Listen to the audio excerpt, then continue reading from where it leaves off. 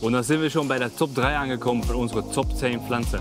Jetzt wird spannend. Auf Platz Nummer 3 haben wir, nicht zu verwechseln mit einem echten Drachen, der Drachenbaum.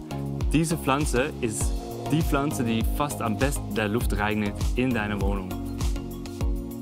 Und auf Platz Nummer 2 steht, einen Moment, die Baumstrelizie.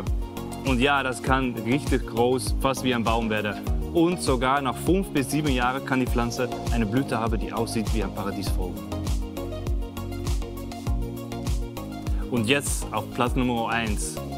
Aber bevor ich das errate, schreibt bitte unten in die Comments, was ihr denkt, dass Nummer 1 muss sein oder was eure Nummer 1 Pflanze ist. Jetzt denn, Nummer 1, Schmetterlingsorchidee, Phalaenopsis. Also, ich hatte das eigentlich auch nicht erwartet. Aber wenn du ein bisschen besser darüber nachdenkst, steht fast in jeder Fensterbank eine Orchidee. Und es ist auch eine von den meist verschenkten Pflanzen. Deswegen verdient die Orchidee auf jeden Fall einen Nummer 1 Spot auf unserer Liste meistverkaufte Pflanzen.